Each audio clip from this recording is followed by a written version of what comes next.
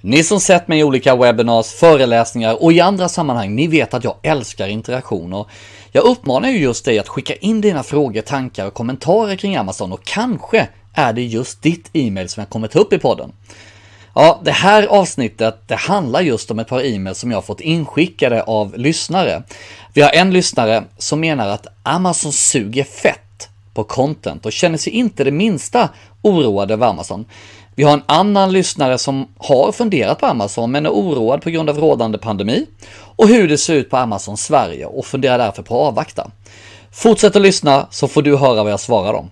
Hej, jag heter Karl Helgesson och du är på väg att skapa framgång på Amazon genom att lyssna på den här podcasten. Jag har sålt på Amazon sedan 2013 och byggt fem varumärken på Amazons marknadsplats och har de sista åren coachat, konsulterat och utbildat mängder med företag, stora som små. Amazon är den främsta marknadsplatsen i världen och vill du öka din försäljning online, ja då bör du sälja dina produkter på Amazon, för det är där kunden finns. Samtidigt kan Amazon upplevas oerhört komplext så i den här podcasten kommer du inte uppleva en massa hype och förskönade halvsanningar eftersom podcasten bygger på erfarenhet, data, psykologi och resultat som jag kommer delge direkt från verkligheten. Om du vill öka försäljningen av dina produkter online och lära dig hur du kan nyttja Amazon, ja då är den här podcasten för dig. Jag är glad att du är här. Välkommen till det tredje avsnittet av Amazonpodden Nordisk Amazonakademi och först av allt måste jag säga tack och tack för den fantastiska feedback som jag har fått via e-mail, via PM och så vidare. Och interaktion är som du vet viktigt för mig och jag gör ju den här podden just för dig. Så hörni, fortsätt skicka in dina frågor och kommentarer. Och jag har två e-mail som jag kommer läsa upp. Jag kommer dissekera de här e-mailen och jag kommer ge så bra svar jag bara kan.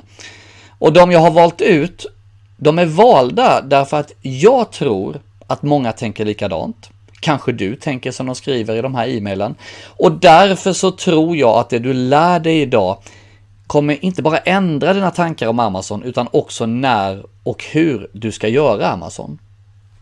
Och innan vi läser upp det här första e-mailet så vill jag highlighta att jag kommer att hålla inte bara ett faktiskt, utan två nordiska Amazon-webinars nu på torsdag den 25 mars. Jag kommer hålla ett vid lunch klockan 12 och ett klockan 19 på kvällen. Och förra året så höll jag webinars för över 2 500 personer. Det var väldigt uppskattat eh, eftersom jag ger mycket content och jag ger, ger väldigt mycket tips som du kan ta del av och som du kan nyttja direkt. Den här gången så bygger vi våra webinars helt efter vad du vill veta. Det vill säga att det content vi skapar inför webbinaren den 25 mars, det är alltså baserat på frågor, kommentarer, farhågor, tankar, möjligheter från de som kommer delta på evenemanget. Och det är för att du som närvarar på webbinariet ska kunna skapa framgång på Amazon och få svar på just dina frågor. Så vill du delta på det här webbinariet, ja, då kan du anmäla dig helt kostnadsfritt på länken, det är en bitly-länk, så det är alltså bit.ly slash Amazon 25 mass. Alltså bit.ly, Amazon, siffran 2, siffran 5 och mass. Eh, och i små bokstäver. Så anmäl dig på bitly Amazon 25 mass så kommer du kunna vara med på det här eventet och du är välkommen att skicka in dina frågor till det. Alright, låt oss hoppa in direkt i det här första e-mailet. Och jag kommer läsa det precis som det är. Eh, jag kommer inte säga några efternamn i mejlen, det kommer jag utlämna och just i det här så kommer jag heller inte säga eh, eh, exakt vilken typ av produkt det är för att inte avslöja för mycket av den som har skickat in. Men så här lyder mejlet. Karl, content, content, content. Det är det enda som räknas 2021. Och just detta som inte Amazon har. Jag måste utmana dina tankar här Karl. I sportbranschen, och så har han sagt inom parentes, jag säger blank, eftersom man inte vill säga exakt vilken nisch, den är ganska nischad. Har trippel eh, digital tillväxt last year, skriver han, så suger Amazon. Suger med stora bokstäver. Det går liksom inte att försvara. Exemplen tar aldrig slut. 90% av dem blank, branschen alltså, vi talar om är non-existing brands i Norden, okända varumärken. Och sen då så hänvisar han eh, till ett exempel på Amazon Sverige som har faktiskt en helt katastrofal översättning. Och ett litet private label, ett eget varumärke. Och sen fortsätter han. Jag följer resan lite tryggare och icke stressad när jag ser det undermåliga content som Amazon levererar. Personligen är jag väldigt emot att sälja på volym. Alla pratar om Amazons styrka här. Sen skriver han SKU reduction. Det var det som har gjort vårt bolag oerhört framgångsrikt. Simplicity. Fråga Apple. What do you say? Trevlig helg. Johan. Alright, det var Johans e-mail och eh, för att eh, ta upp det här då. Först tack Johan för ditt e-mail. Eh, Johan nämner ju här att content är det enda som räknas 2021 och att content är något som Amazon inte har. Och jag kan hålla med om att content är oerhört viktigt. Men på Amazon är inte just content det viktigaste. Varför? Jo, det absolut viktigaste är din positionering. Din positionering kommer före content, även om positionering och content starkt hör ihop. Så anledningen att din positionering och din ranking är viktigare, ja det är på grund av hur Amazon-kunden beter sig. Vad menar jag med det? Alltså hur kunden gör, alltså söker när den handlar produkter. 80% av alla Amazon-kunder söker idag på ett produktrelaterat sökord. Ja, då är det såklart viktigt att ranka på de här sökorden så att kunden hittar dig. Om inte kunden hittar dig, ja då kommer kunden att köpa en annan produkt från ett annat varumärke. Så det är alltså så att 80% söker på ett produktrelaterat sökord. De andra 20% ja det är uppdelat mellan problemlösningar, varumärken etc. Och det här är då också en anledning att så många stora etablerade varumärken misslyckas på Amazon. De tror nämligen att det räcker att vara ett känt varumärke. De har undermålig SEO. Men det lirar inte på Amazon. Okej, okay, med det sagt, positionering är viktigare i content. Då är det så här, för att kunna ranka och positionera sig på de sökord som kunderna söker efter när de ska köpa just din produkt, så behöver du content.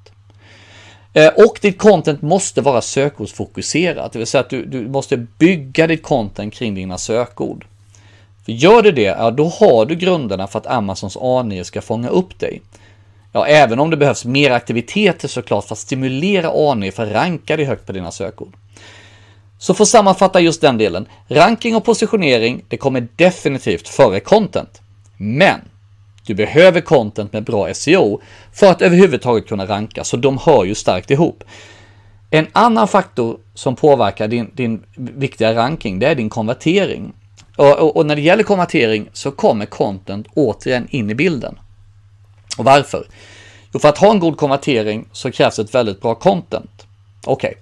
vad är då bra content på Amazon?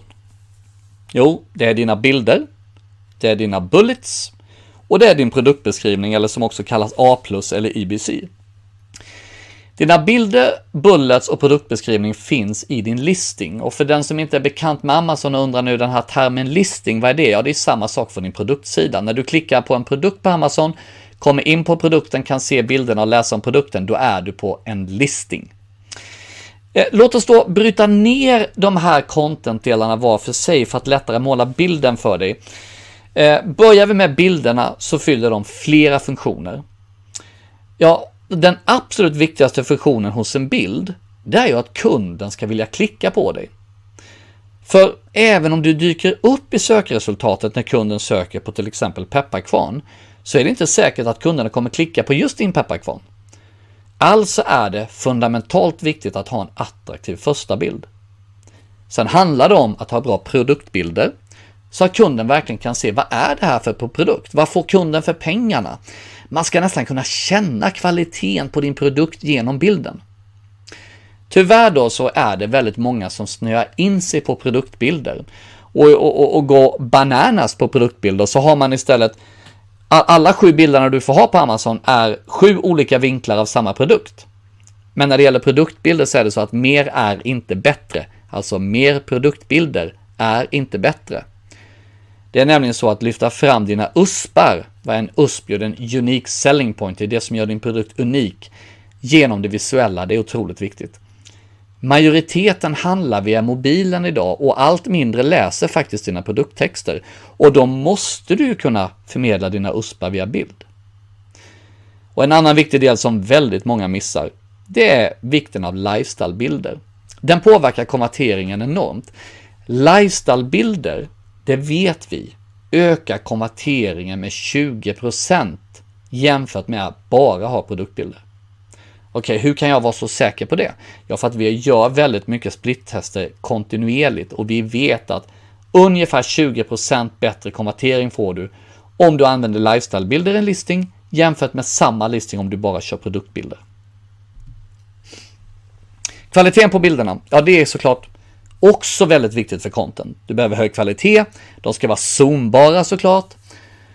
Och efter bilderna, då kommer då våra kära bullets. Bulletsarna i listingen, det fyll, de, de ska säga fyller två funktioner. Dels är det SEO, sökord, och dels är det konvertering.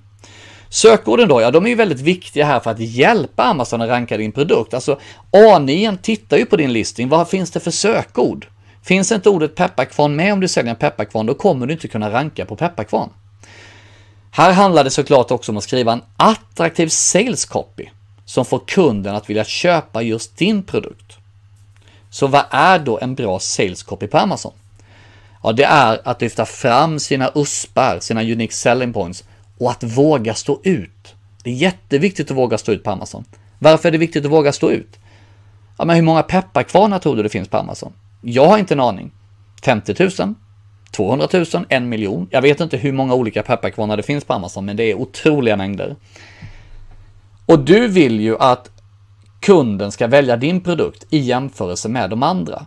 Och då blir ju USParna och det faktum att din pepparkvarn faktiskt står ut, det blir en väldigt viktig funktion och del för att kunden ska välja dig då. Det sista i ditt content, det är din produktbeskrivning. Eller A+, som det också kallas. Kallas även EBC, Enhanced Brand Content, även om det är smått förlegat. Ur ett content-perspektiv så vill du använda den här delen av listningen för att beskriva ditt varumärke, för att ge kunden en känsla för vad just ditt varumärke står för. Och var hittar man det här då? Om vi tittar på de här tre sakerna. Ja, bilderna har du till vänster i listningen. Bulletsen har du i mitten av listningen. Och nu när vi talar då produktbeskrivning eller A eller EBC, det kommer alltså längre ner. Man får scrolla ner en bit. Så det handlar om att beskriva ditt varumärke. Vad står ni för? Sen handlar det om att jobba med fler USPar. Egentligen kan man säga de USParna du inte fick plats med i dina bullets. Delar som gör valet för kunden lättare.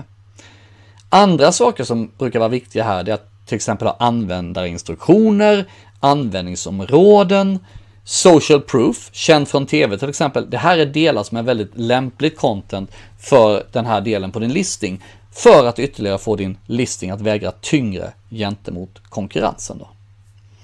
Alright, då har vi lite bakgrund om content. Låt oss då gå tillbaks till Johans e-mail. Jag, jag, vill ge, jag vill ge den här bakgrunden om content först för att ni ska förstå det vi kommer in på sen. Så låt oss gå tillbaka till Johans e-mail och han skriver då jag måste utmana dina tankar här. I sportbranschen, alltså inom parentes, blank, som har tripp, eh, trippel digital, eh, triple digit tillväxt last year, så suger Amazon. Det går liksom inte att försvara. Exemplen tar aldrig slut och sen hänvisar Johan till eh, ett exempel på Amazon.se, alltså Amazon Sverige. Ja, det här exemplet som Johan hänvisar till på Amazon Sverige, det är en produkt som lider av samma problem som majoriteten av produkterna på Amazon Sverige. För närvarande säger jag. För närvarande. Kanske inte imorgon. Kanske inte om en månad. Det här är definitivt borta om ett halvår. Det här ändras lite dag för dag. Att det ser så här galet ut som, som Johan hänvisar till här, det är för att Amazon har outöversatt alla listings från alla de duktiga internationella säljarna. Och som du kanske kommer ihåg, när Amazon öppnade i Sverige så var det en mängd skriverier och en massa galna översättningar och en, den ena mer horribel än den andra. Man kunde sitta och skratta lite åt det. Eh, men till då dig Johan och även ni andra som tycker att Amazon suger här på content. Så är det så här. Det är förvisso Amazon som har gjort de här konstiga direktöversättningarna. Men det är säljarnas och varumärkenas skyldighet att kontrollera det som kommuniceras på deras listings på Amazon. Det är inte Amazons skyldighet. Okej, okay, så det är inte Amazon som suger egentligen. Eh, även om de har gjort den här direktöversättningen som inte är så bra. Kan man då säga att det är de här säljarna på Amazon Sverige som suger? Nej, egentligen inte. Det här är fantastiskt duktiga säljare som säljer för enorma volymer på andra marknadsplatser. Men de har någonting mot sig här på Amazon Sverige och det är ju att de inte kan svenska. För de ser det här förmodligen relativt okej okay ut. Det som Amazon översatt. För vad är, vilket sätt kan de testa det här på? Och de tar ju kopierar listningen och stoppar den i Google Translate och tycker att ja, men det ser nog ganska vettigt ut. Och väljer vi nu det här exemplet som, som Johan har hänvisat till, vi tittar på den här säljaren eh, och just den här specifika produkten som Johan hänvisar till Amazon Sverige. Vi tar den produkten och tittar hur säljer den eh, i UK, hur ser det ut där? Ja, i UK så ser content riktigt bra ut textmässigt. Det är väldigt bra säljbudskap, det är bra titel, det är många uspar, usparna står ut. Och tittar vi vad den här produkten säljer för, bara den här enskilda produkten på Amazon UK, så säljer de för exakt, ganska exakt nästan på öret, just nu för 100 000 svenska kronor i månaden. Eh, så visst, sen får Johan nog svara på om 100 000 kronor i månaden för den här produkten, om det är bra eller dåligt. För det här handlar ju såklart om hur bra produkten är rankad på Amazon UK. Spontant tycker jag låter 100 000 i månaden för en produkt. Jag tycker det låter ganska okej. Okay. Man kan säkert tjäna, sälja för väldigt mycket mer i den här branschen, men skulle jag tacka nej till 100 000 i månaden eh, med, med, med liksom den här produkten? Nej, förmodligen inte. Så för oss som bor i Norden så, så, och, och för oss som hanterar svenskan bra så är ju det som Johan eh, liksom pekar ut här, det är ju en gyllene möjlighet att lansera produkter på Amazon Sverige. Och varför? Jo, för att nu rankar ju alla de här säljarna på Amazon som är så duktiga på Amazon USA, på Amazon UK, på Amazon Tyskland. De rankar superdåligt. Och de har Ja, har, de ens någon konvertering med de här dåliga direktöversättningarna? Förmodligen inte. Så kan du göra bra content på svenska med rätt svenska sökord, då kommer du skaffa dig ett försprång. Och så här är det. Har du sett Amazon göra någon reklam än i Sverige? Nej, de har inte börjat trycka på än. De har inte börjat slå på trumman än det är fortfarande saker som saknas i Sverige. Vi har inte Primen, eh, Amazon FBA har inte införlivat med, med Pan European FBA, vi kan inte göra annonser. Det är liksom vissa delar på plattformen som kommer. Men när Amazon Sverige tar fart och de utländska säljarna börjar inse att något är fel, då kommer vi, du och jag, som gjorde rätt på svenska från början, ha ett rejält försprång. Så se till att nyttja det här istället. Eh, Johan skriver ju också i mejlet här att, mm, eh, jag citerar direkt, jag följer resan lite tryggare, icke stressad när jag ser det undermåliga content som Amazon levererar. Ja, mitt råd till dig Johan när jag läser där, ja det är ju att ni vänder er trygga och icke-stressade känsla till en mer aggressiv känsla. Att nu ska ni passa på att nyttja situationen för att positionera era egna produkter främst framför de här undermåligt eh, översatta produkterna. För vad kommer hända när de här duktiga säljarna inser problemet och Amazon Sverige tar fart? Jo, det kommer bli galet mycket tuffare att ta en position på Amazon Sverige. Och när det börjar ta fart i Sverige och era engelska konkurrenter, internationella konkurrenter, börjat fixa till det här och börjat ta stora marknadsandelar av den svenska e-handeln inom ert segment, då kommer ni känna er tvärtom ni gör idag, då kommer ni känna er otrygga och ni kommer känna er stressade. Men nu har ni ju en chans att vara proaktiva och att undvika att hamna i en otrygg och stressad situation. Så det är mitt varmaste råd till er Johan på ert företag att ni, ni istället får luta er tillbaks och rulla tummarna och tycka att Amazon suger fett på content. Nyttja den här situationen och positionera era produkter där. Eh, Ehm, sen avslutar Johan med att citera Personligen är jag väldigt emot att sälja på volym. Alla pratar om Amazons styrka här, utbud. Sen skriver han SKU reduction. Det är det som gjorde vårt bolag oerhört framgångsrikt. Simplicity. Fråga Apple. Och jag kan ju faktiskt bara hålla med Johan här. Det här är nämligen en av anledningarna att så många stora företag misslyckas på Amazon. Eller en av många anledningar. Ehm, det är nämligen så att de laddar upp tusentals SKU på Amazon utan någon som helst research eller kunskap om efterfrågan och försäljningsvolymer och konkurrens. Tittar vi på små private labels som går väldigt bra på Amazon så kollar ju de vad som fungerar på Amazon och lanserar sina produkter därefter. Man har mindre antal SKUs än de stora varumärkena, men man är mer framgångsrik. Att Amazon däremot har ett gigantiskt utbud av produkter, hundratals miljoner produkter på Amazon. Det är ju en av faktorerna till varför Amazon går hem hos slutkunden. Slutkunden älskar att ha mycket produkter att välja mellan. Men bara för att man kan hitta många produkter på Amazon så innebär ju inte det att du som varumärke ska lasta upp allt du har. Jag säger tvärtom, fokusera. Alright, nu behöver jag dricka lite vatten här, jag blir helt eh, torr i munnen. Och som ni märker så här en oredigerad podcast så jag, jag bjuder på mig eh, som jag är och det kan hända att det knackar på dörren eller ringer eller vad som helst kan hända. Men eh, jag gillar att bjuda på mig själv så att vi låter det vara som det är. Alright, så innan vi läser upp det här andra e-mailet så vill jag återigen bara highlighta då om eh, våra webinars som vi kör nu på torsdagen den 25 mars. Vi kör alltså ett vid lunch klockan 12, ett på 19 på kvällen. Och som alltid så kommer de här webbinarierna vara helt fullspäckade med info om hur du lyckas på Amazon och vad du kan fixa och hitta den bästa kunskapen till att lyckas på Amazon. Eh, och vi bygger de här webbinarierna helt efter vad du vill veta. Så när du har registrerat dig, och det kan du göra på bit.ly slash Amazon 25 mass, bit.ly slash Amazon 25, 2 5 alltså, mass, M-A-R-S. Och mass på småländska, ni har hört första torsdagen i mass, det är alltså inte mass M-A-S-S, utan det är mass M-A-R-S. Så Amazon, bit.ly slash Amazon 25 M-A-R-S. Eh, och när du har reggat det där så kommer du alltså kunna ställa vilka frågor du vill i förtid, så bygger vi content för dig. Med det sagt så hoppar vi in eh, i det andra mejlet. Och det går enligt följande, jag läser det rakt av, jag tror inte det är så mycket, Eh, jag tror inte det är någonting, jag behöver inte säga blank eller dölja något här tror jag. Hej, tack för en väldigt bra podd, informativ, lätt att lyssna på. Jag och min sambo driver en butik som säljer elektronik. Vi har även en egen e-handel.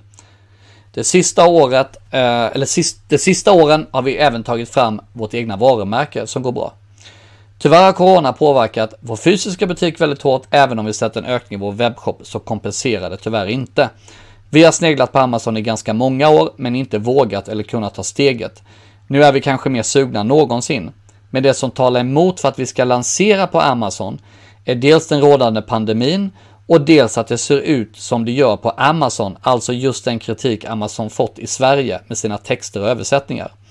Så vi är inne på att avvakta tills efter pandemin, pandemin och att Amazon Sverige ser mer inom situationstecken normalt ut. Vad tycker du? Hej från LJ. Alright, tack så mycket LJ. Och att, att jag valde ut det här mejlet, det ser ni direkt, det är ingen slump, för det här knyter ju direkt an till Johans e-mail. LJ tar ju egentligen upp samma synpunkter som Johan gör eh, när det gäller content som vi precis har pratat om.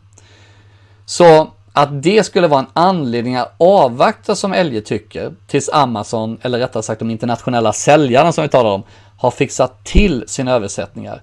Det säger jag nej, nej, nej, absolut inte.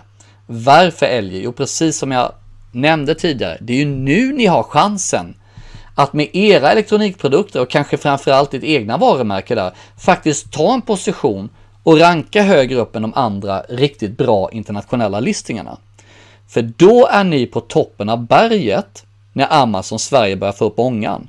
Och är ni på toppen av berget när Amazon Sverige får upp ångan, då kommer det bli era internationella konkurrenter som försöker jaga ifatt er istället för tvärtom. Så det är ju redan, eh, redan besvarat egentligen, men så, så nej, vänta inte på att, att det ska fixas till översättningar och så vidare på Amazon Sverige. Den andra anledningen eh, som gör att Elge vill avvakta med Amazon, det är den rådande pandemin. Och först och främst LG så får jag säga att jag, jag, jag förstår och jag lider med er att det, och, och, och, det är hemskt att det går dåligt i den fysiska butiken. Jag är glad att ni har sett en eh, uppsving som du skriver på, på er, er webbshop. Men tittar vi på Amazon, likt mycket annat online, så går ju det som tåget just på grund av pandemin.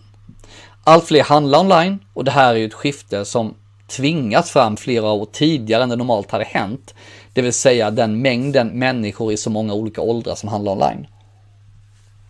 Och när pandemin försvinner, då har många vant sig och onlinehandeln kommer vara starkare såklart, mycket starkare än innan pandemin.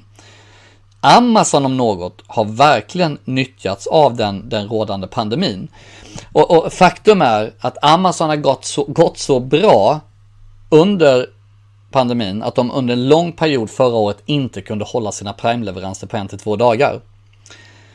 Ja, hur, hur, kunde det här hända? Jo, det ökade trycket, det gjorde att Amazon fastnade rejält i sin egentligen enda stora flaskhals man har. Och det är Amazons fulfillment center. Eh, Amazon behöver mer utrymme för sina produkter. Och i och med trycket på Amazon och den extrema försäljningen så, så blev det här en rejält flaskhals och en, folk, i takt med att folk sålde slut så skickades det in ännu mer produkter. Och trots att Amazon anställde, lyssna nu, det här är helt otroligt. Amazon anställde 175 000 anställda på tre och en halv vecka.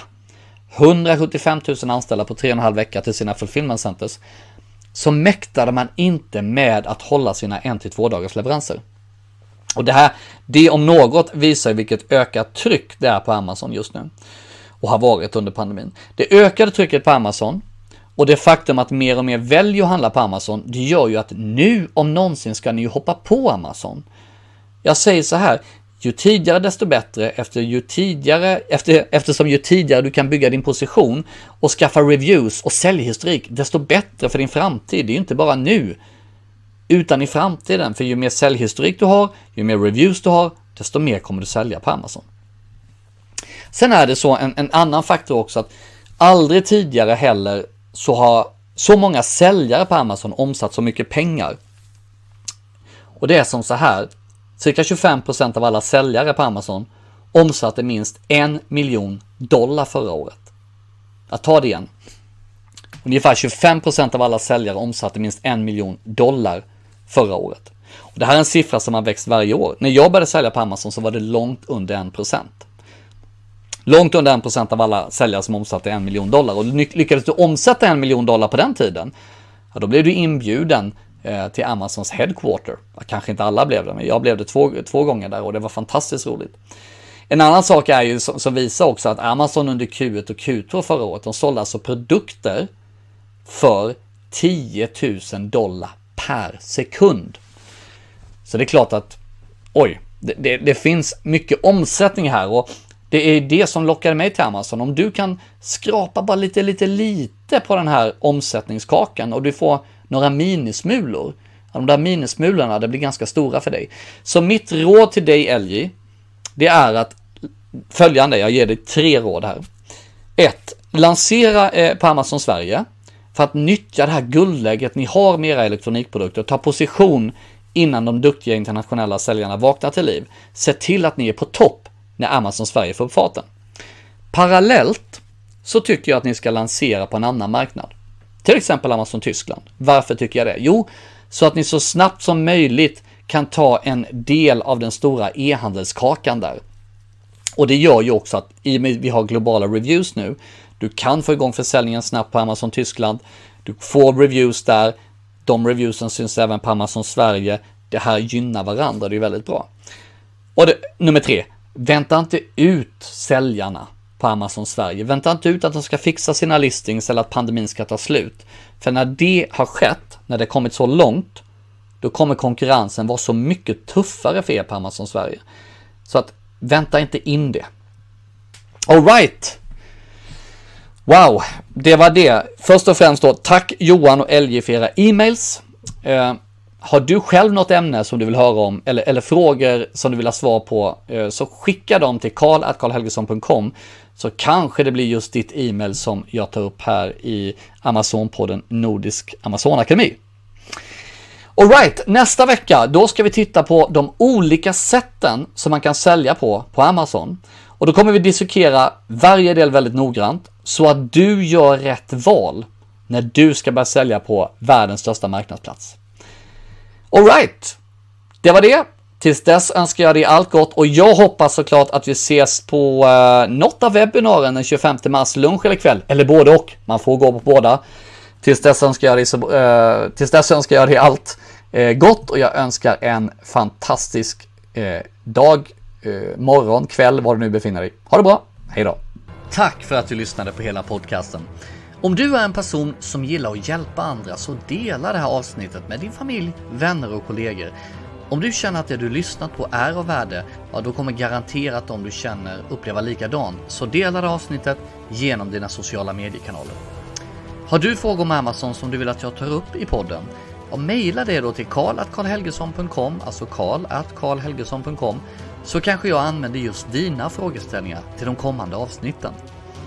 Och skulle du vilja connecta lite närmare med mig och få regelbundna tips så kan du alltid prenumerera på mitt nyhetsbrev Veckans Amazon-tips och du kan registrera dig på bit.ly amz-tips, alltså bit.ly amz-tips. Och slutligen, jag tror på att ju mer man ger, desto mer får man och att vi tillsammans kan hjälpa fler människor och företag att bli framgångsrika. Därför skulle jag bli oerhört tacksam om du vill ge min podcast en review och gärna en väldigt bra review såklart. För ju mer spridning och ju mer reviews som Nordisk Amazon Akademi får, desto mer människor och företag kan vi faktiskt hjälpa att lyckas på Amazon. Tack så mycket för att du lyssnade!